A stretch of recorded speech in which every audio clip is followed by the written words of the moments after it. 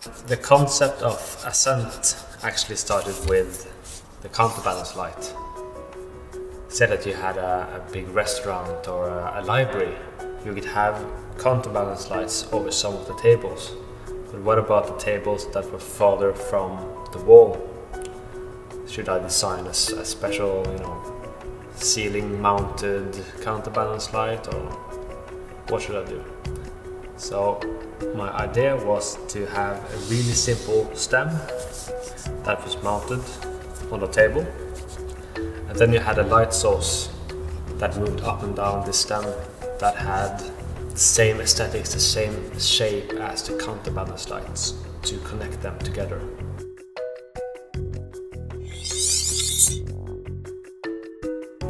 So I went with this idea to Luceplan and said that yeah we can we can have this head moving up and down maybe with the same intensity.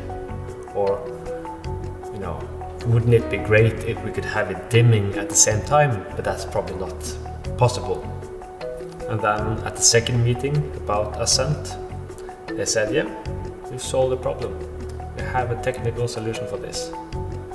And the nice thing with this is that this would not be possible some years ago this is a technology that is only possible with the use of LEDs.